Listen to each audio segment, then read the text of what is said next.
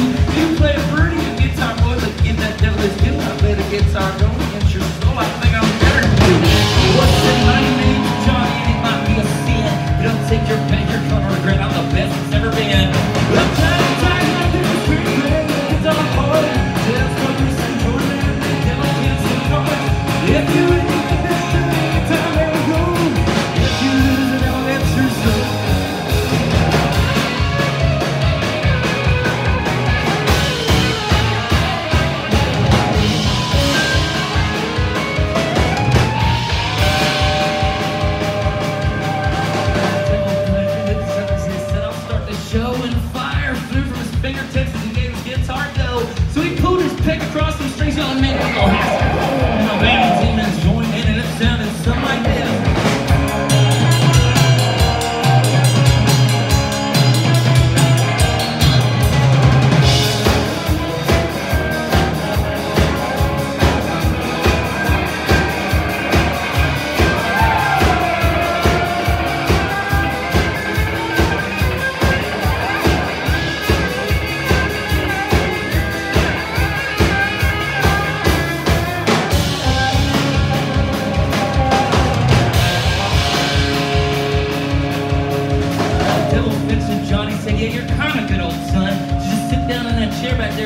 study house.